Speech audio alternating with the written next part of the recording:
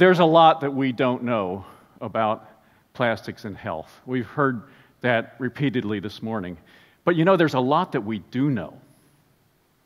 There's a lot, particularly about the chemicals that are in plastics. And that's what I'm going to be talking about today. There's a lot that we know, and it's enough to give me great pause. Um,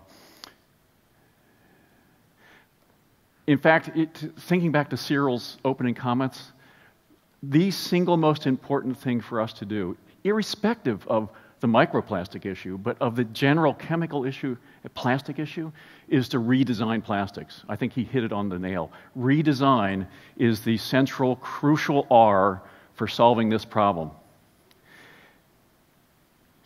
That's especially true for things like the chemicals I work on bisphenols, phthalates, perfluorinated compounds. Once they get into our bodies, they can wreak havoc of multiple kinds, largely by, inter- by hacking the hormone system, by changing how genes are being turned on and off, leading to serious developmental problems and problems, as Ju- Juliet showed, problems that can unfold throughout life following a fetal exposure. I've got a personal story to tell about this. That's my granddaughter. She was born prematurely, weighing two and a half pounds last January. And she spent two months in the neonatal intensive care unit. Um, the plastics in that unit saved her life. They really did. Those plastics can do miraculous things. But unfortunately, there's another side to this story. Some of you, I'm sure, have heard about all the forest fires that are taking place in the United States. This is Paradise, California, after the fire. Those houses were full of plastic and they burned. And that smoke, Paradise is that big white patch up there, the smoke went to the Bay Area where my daughter was in the beginning of her third trimester of pregnancy. Her house was surrounded by some of the worst air pollution, including plastic that was volatilized by the burning fire, that has ever been recorded in the San Francisco area. And when I discovered, and, and when on January 8th she had to go to the neonatal uh, care unit for, premature, for an emergency cesarean because of preeclampsia, I, I asked the question wait a second, did that smoke have anything to do with her premature birth? And I quickly, literally within 15 minutes, found a series of papers, including some by my colleagues, who show that smoke in general and smoke and exposure to bisphenol A and phthalates are risk factors for the very condition that forced that premature birth. So, how do we wind up here? We've got this miraculous set of, of materials that save lives but also that have can have and i know it's I, I, can't state with certainty that my daughter's preeclampsia resulted from this exposure but it's very plausible. Uh, how, how is it how can we hold both these thoughts in, in mind at once and what do we have to do to solve that problem?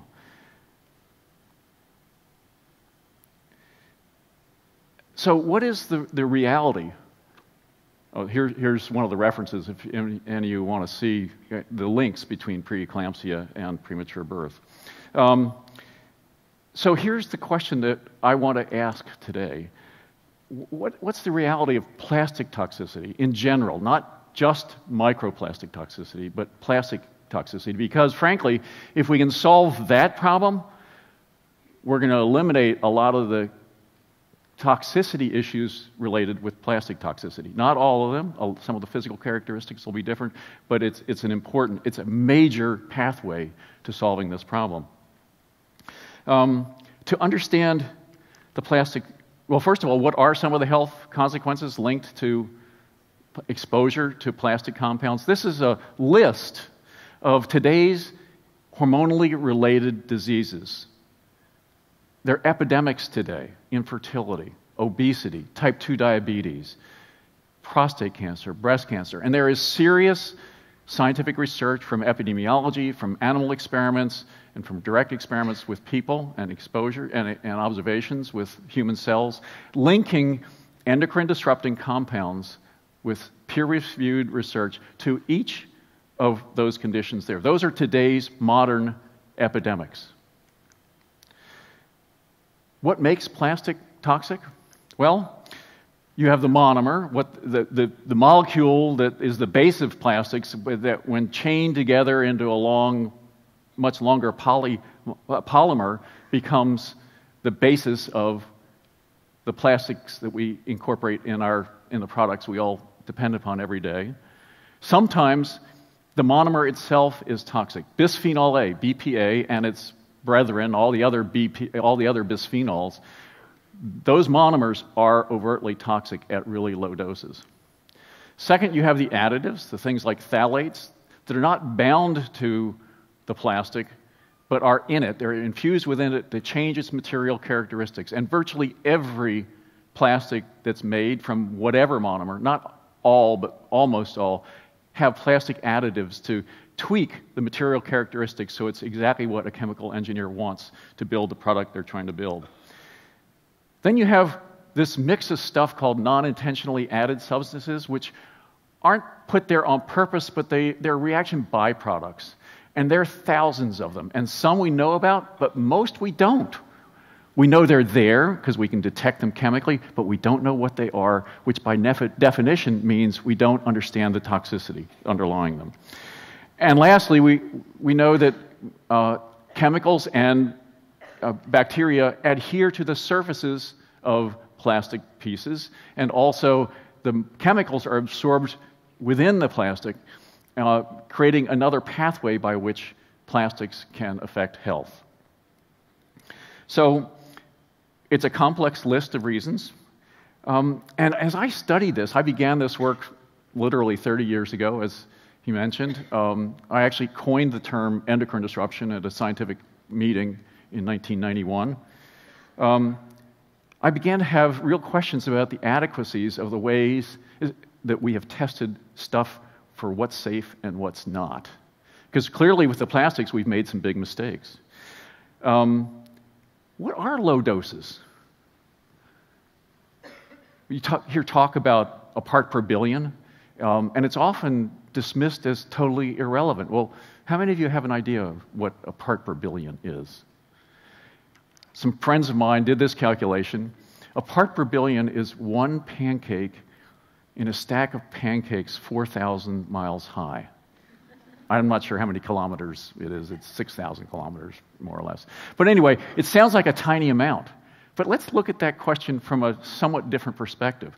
Imagine that you have a drop of water, one drop of water, and it's concentration of bisphenol A is one part per billion in that drop of water. How many molecules of BPA do you think might be in that one drop? 2.65 trillion molecules of BPA are in that one drop. There are a billion times more molecules of water, but 2.65 trillion is a lot, especially when you begin to understand how hormone systems are driven by really, really low concentrations. Toxicology, when it started, mostly focused on high doses, understandably. People were dying in factories, they were living on toxic sites, toxic dump sites, and being exposed to high doses. But gradually, as the study of endocrinology began to flow into work on toxicology, we learned that we had to approach things differently, that low doses can matter a lot. And I could go on for hours about how that complicates that classic equation that we heard mentioned multiple times risk equals hazard times exposure. In hormone disrupting chemicals, endocrine disrupting chemicals, and hormones, different things happen at low doses than happen at high doses. So you can't use high dose experiments to predict what is happening at low doses. And most of toxicology has not responded to that endocrinological reality. So, this, uh, this odyssey over the last 30 years has led to, for me, a series of painful realizations. Um, no plastic has been tested thoroughly. None. Zip, zero, nada. For all the, the plausible and important health effects that may be related to it. The tests that are used are based upon old principles, 16th century principles that allow you to do test at high doses and believe that's sufficient to, to reveal low dose results, but that's not the case. Does, endocrine disrupting compounds, as I said, don't work that way. And the regulatory toxicology, the actually agencies like EFSA, the US FDA, EPA, um, they use assays that are 10, 20, 30 years out of date. They do not use modern 21st century science to figure out is this compound safe or not. And we have to change that situation. Core assumptions driving those tests are wrong. The dose does not necessarily make the poison. Low doses can happen that are not detected by high dose results. Mixtures. What does your doctor ask you whenever they start to prescribe a new um, drug for you? The first thing they ask is, What else are you taking? Toxicologists only test chemicals for regulatory uh, purposes, one chemical at a time. That's so flawed, it's unbelievable. And yet, we accept their conclusions that this is safe and that's not. And then, unfortunately, because there's a lot of money at stake, bisphenol A, for example, is worth by now probably uh, at least a, a million dollars an hour in revenue globally. That leads to companies protecting their products, spinning science, creating doubt about what the real circumstances are to make sure their product stays on the market. Okay, so these problems are real. They're there. They're there today, and, and, and together we have to start working on them. Um, now, part of the theme of this meeting is we've got to worry about the next generation. Well, I agree completely. It, um, Juliet's slide showed how fetal exposures can play out over the lifetime of an individual. It's worse than that. We now have serious science showing that exposures to great grandmother the woman in red, can affect a child born three generations later who was never directly exposed to the chemical that mother, that great grandmother experienced. It's called transgenerational epigenetic inheritance. And this issue got much more complicated, complicated over the last two years when it, when it was discovered with two scientific papers that the effects don't necessarily show up in the daughter or the granddaughter, they only begin to show up, not always, usually they do show up in the daughter and the granddaughter, but some jump generations to appear generations down the string. And this is without DNA uh, mutations. It's, the DNA has not changed, it changes in how the DNA is controlled. So, if you want an argument to use for why we have to approach these issues from a precautionary perspective, think about these four generations and more that are affected by fetal exposures. This is, a, this is something that the regulatory agencies have never even begin, begun to ask how do we incorporate information like this in our assessments of what's safe and what's not. And the science keeps coming out. We heard today the mention of how many billions of nanoparticles and microparticles are released into a teacup by making tea the way that all of us make tea. Um, well, another study came out within the last month or so that shows that three quarters of plastics products this team tested have one or another form of toxicity associated with it. There's the reference if, if, if any you want to see it. It was a real eye opener. Even I didn't think it was going to be that bad. Different types of toxicity. Oh, and, and one of the kickers was everyone's favorite bio based plastic, polylactic acid, was one of the worst ones tested. So we can't assume that because it's bio based, it's safe. In this case, it's probably because of the additives that are put into PLA plastic to make it achieve the characteristics that it want that, that we need, but who knows? Anyway, um, I do see a light at the end of the tunnel. As and I want to think about the three R's, in fact, some new three R's. As Jane Muncke has argued, recycling is the fig leaf of consumerism. It gives us permission to do stuff we shouldn't be doing.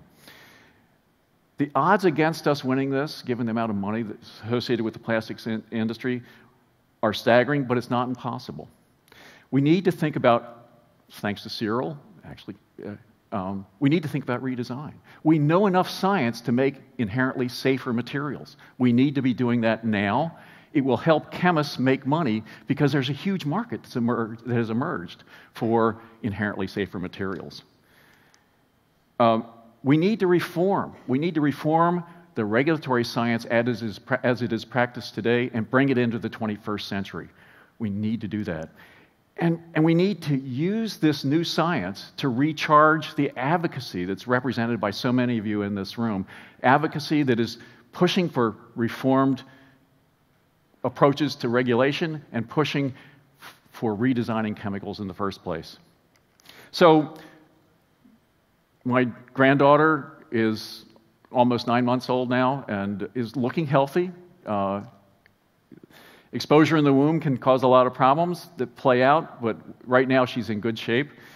Um, this problem is more serious than any of us imagine. Um, and what I want to leave you with is this URL. I'll give you all time to photograph it. It's a, a link to a website that we have where you can sign up for free to a weekly summary of this week's news about plastics and plastic issues from around the world called Into the Plasticine, which I debated calling Into the Obscene, but decided I had to be a little more specific. Anyway, so thank you very much.